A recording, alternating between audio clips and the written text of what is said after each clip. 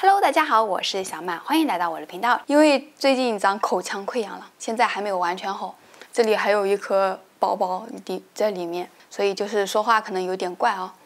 上一期我们说到，S 级英雄正式全面进攻，纷纷往怪人巢穴深处靠近。闪光则率先遇到了夜火和疾风两位龙级怪人，最后以一式闪光斩一箭双雕，将两个怪人一起给办了。而此时另一边，十岁的天才童弟也正在秘密行动，并且还密切的关注着各英雄的活动。那么接下来他又会遇到哪个怪人呢？让我们一起往下看吧。而此时，另一边，十岁的天才童弟也在秘密行动，并密切地关注着各英雄的活动。超高速移动着的应该是 Flash 吧？那之后就停着没动了？发信器故障了吗？看着眼前的地图，童弟虽略感疑惑，但想了想，以他们的能力，应该能独自应对，并也未过多担忧，继续往目标靠近。现在最主要的还是得先救出冷智，这样他们战斗起来才不会有后顾之忧。恰此，一个怪人突然出现，欲行图谋不轨之事，但下一瞬。瞬间就被射成了个马蜂窝，而发出这个攻击的便是迷你章鱼坦克八号。对进入警戒领域的移动物体，直至其二氧化碳排放量归零为止，会不断射击。头都不转一下，通缉的目光正落在旁边的小房间，走近一看，竟然是金属骑士的机体，好厉害！居然把经历过了无数夸张的耐久测试的骑士，虽然听说是被怪人王大蛇干掉的，但到底要有多大的攻击力才能破坏到这种程度啊？光是想想，童弟都觉得瘆得慌。不过转瞬间就恢复了冷静，还是震慑要紧。随即便将数据线插入到了金属骑士的脑部。既然那人不告诉我的话，就只好提取机体上残留的数据了。手上不断操作，脑袋不停运转，这被整理得井井有条的残骸，同弟多了丝顾虑。这一看就是有人想将其重新组装，而且某些部件毫无损伤，被分解得相当漂亮。那么这里肯定有精通这一领域的人。如果这种机械技术被怪人利用，那后果不堪设想啊！嗯，找到了，这个是。看着电脑上那已经用雷达探测器画好了的通往人质房间的正确路线，童弟烦躁地挠了挠头。那个人已经知道到这种程度了，居然还拒绝协助。算了，吃根棒棒糖压压惊吧。但他才刚舔了几口，一个外人突然出现，挡住了其去路。这个是你造的吗？真是个幼稚的设计。而他便是凤凰男，一个因脱不下身上鸟玩偶服而变成了怪人。是干部吗？这问的有点尴尬。不过为了尊严，凤凰男还是进行了一波强行解释。虽然我不是干部，但也是中层管理，只有足够优秀，才能做到我这个位置。总之，组织里有各种自己的规矩，像你这种陪英雄名号冲昏头脑的小鬼是理解不了的。你只是个稍微有点聪明的小孩而已，就因为话题性很高而被称为 S 级英雄，被吹捧，被宠爱。所以为此是要付出代价的，就在这里安详的死去吧。而我，除了自己谁都不信。怪人协会对我而言只是个垫脚石，总有一天我会取代大蛇大人，夺走其王的名号。哈哈哈哈哈哈。虽然此时的他灾害等级只是鬼而已。随后便自信满满的使出了一记会攻击，然而下一秒他的野心却成了个笑话，直挺挺的撞上了一层薄膜。果然脑子是个好东西，在凤凰男说话的期间，童弟就已经布置好了这个陷阱。怎么样呢？这个滋味，我将其命名为烦恼屏障，对瞬间的攻击可是能够发挥超强的耐久性哦。虽然可以申请你让你带路，不过我现在的心情不大好。收好薄膜，启动按钮，平底的背包瞬间十八般武艺齐开，唰唰唰了几下，凤凰男就奄奄一息了。有想法是好事，但若你真的优秀，就不会加入怪人协会这种地方了。呵呵，那点我不也一样吗？谢谢你，这下我也稍微冷静些了。另一边，一群怪人正百无聊赖地守在牢房门口，看着青蛙堂而皇之地溜进牢房，也没了想法。不过瓦干玛倒是被吓得不轻，这啥娃，干嘛挖着人家的嘴巴不放呢？而这动静自然引得了怪人的注意，于是没一会儿，现场就变得硝烟弥漫了。什么啊，这个烟不好，这烟有毒！瓦干玛君，我来救你了。然而此时，淤泥水母已偷偷溜了进来，并在其毫无防备的状态下使出了淤泥重击。呜嘿嘿嘿嘿！只见童弟在防御罩的保护下是毫发无伤啊！有毒气不起作用的类型在吗？掏出洞箫，化作激光剑，潇洒的来个几刀，但还是不起作用。不甘心，童弟又是十八般武器齐开，可结果还是一样。啊哈！你打完了吧？打完了，该轮到我喽。嗯，这是什么？只见一根黑管正咕嘟咕嘟的往他身体里灌着不知名的液体。蓝油啊！嗯，交火锅好大，快点离开吧。可以把呱呱面罩摘下来了。身体怎么样啊？啊，嗯，肚子好饿啊。姑且先把这个喝了，营养果冻。时间紧迫，边走边喝吧。然而瓦岗妈不但不感谢，反而发起了牢骚，抱怨他们来的太晚了。但童弟可不会纵容你，给你个眼神，自己体会去吧。就在这时，一阵脚步声打断了他们。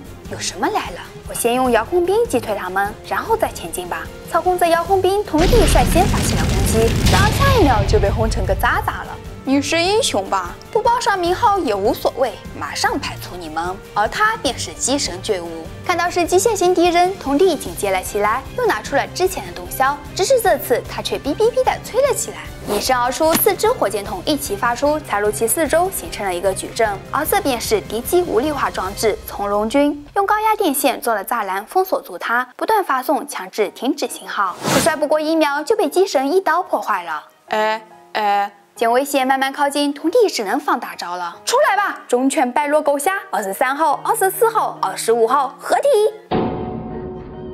随着慢慢拍的机械变形声，狂犬挨揍地狱三头犬终于进化完毕了。哇哦，感觉很强哎，太棒了！机械人之间的对决哎，哼，竟然把狗级别的人工智能跟我比较，真让我失望。见此，狗狗一跃而起，发起了攻击。都是机械人，瞧不起谁呢？而童弟也拿出了铅笔盒型的手枪，射出了铅笔导弹，瞬间一坨黏糊糊的东西就沾满机神的全身了。未等其挣脱开来，那狗狗的凶猛狗刨回旋拳击也已朝其跑了过来。趁此机会，童弟当机立断，揪着兴奋不已的瓦岗马逃之夭夭了，但却扫了瓦岗马的兴。刚刚那个敌人，你为什么不跟机械人一起战斗呢？明明感觉能赢啊！他很强啊，跟他对打的话会很费时间的，而且重要的并不是要胜利。为什么打倒怪人不就是英雄的工作吗？爸爸说过的，因为英雄在用从大家手里收集来的钱来生活的，所以就应该努力才对。呃，虽然话是这么说没错，但把你送到地上才是第一要务。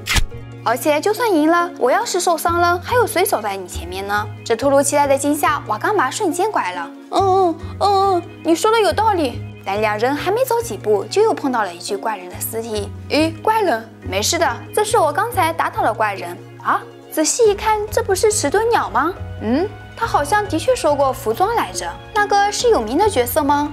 他是一档喜剧节目《动物帝国》里的吉祥物呢。这节目因为黑色幽默太多而被禁止播放了。迟钝鸟是个很迟钝又笨的角色，所以经常死掉呢。经常死掉？对。比如撞到电线啊，或者被烧成烤鸡之类的。不过因为它很迟钝，所以下集播出的时候就会好像什么都没有发生一样就复活了呢。复活？听此，童弟有种不祥的预感。如果继承了那个角色的设定作为力量的话，果然下一刻他的预感成真了。诚不欺我。大囧也说过，克服接近死亡的地狱，就是怪人能够爆发性成长的秘诀。只见凤凰男涅槃重生，紧接成了龙级怪人重生凤凰男。时不我待，童弟立马掏出凝鸟胶散弹枪，发起了攻击。哼哼，重生又如何？没有什么是难得住我这个哆啦 A 梦的。但凤凰男只轻轻扇动着翅膀，任你花里胡哨，都被其一股热风吹得烟消云散了。好在童弟及时撑开了防御罩，才未被这火光淹没。趁着火势减弱，童弟一脚踢开了防御罩的门，准备先发制人，同时嘱咐瓦岗马躲在里面不要动，那是抗热性的材料。那你怎么办啊？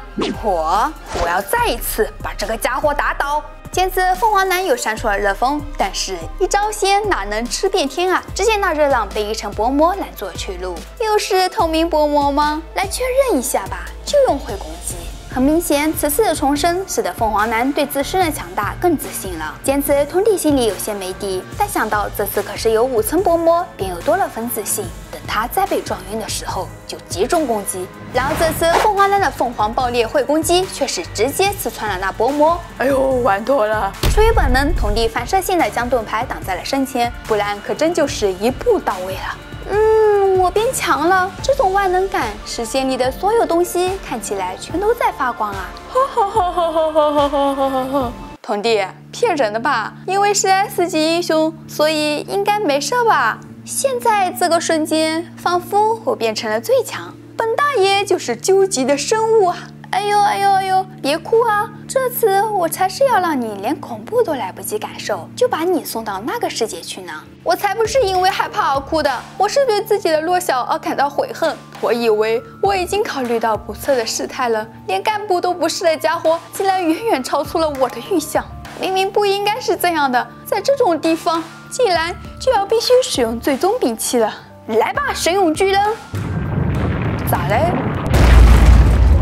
又是怪人吗？不对，这个信号是……只见一个个机械零件在童弟的召唤下破土冲刺而来，然后双手一挥，便有空悬者开始变形组装。看招！随即一个巴掌从尘烟中现出，拍向了凤凰男那震惊的脸。不过这耳瓜子是有点大哦，那是让其穿墙断柱的。用三角尺切开墙壁，一脚踹开那大洞。童弟走近，居高临下的看着他，又恢复了以往的自信。我就猜到可能会有需要，所以就预先在基地周围的地里让部件都待机准备了。什么啊！真是的，要是有那种东西，那在一开始就拿出来不就好了吗？对此，童弟很是无语，不会说话就闭嘴嘛。而凤凰男却好似发现了问题所在，拍了拍肩上的碎石，得意道：“的确，在回收了人质小孩的情况下，把这个召唤出来破坏墙壁，然后逃跑，才是最好的方案才对。既然你没有这么做，那就是说活动条件有很多限制，对吗？”果然，凤凰男一语中。此时，机器人内部那显示器上到活动极限还有两分三十八秒。皱起眉头，童弟表示压力山大啊，没有时间了，必须速战速决。